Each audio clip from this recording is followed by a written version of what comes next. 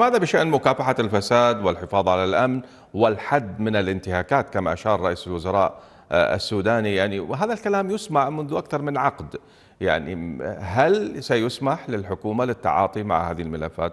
فعلا هناك يعني هل هناك جهات ربما داخلية آه، تعرقل آه، إجراءات الحكومة وكذلك إجراء يعني جهات خارجية أيضا؟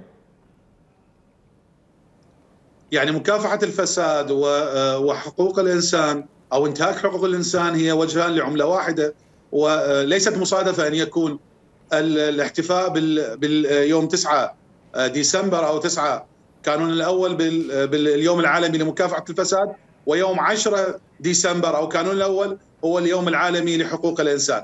وبالتالي أعتقد انطلاقة الحكومة العراقية لمعالجة ملف الفساد والدفع باستكمال آه، متطلبات ملف حقوق الإنسان هو يعني يجري في نفس في نفس المسار ونفس السياق وأيضا نفس الاهتمام الحكومي لذلك.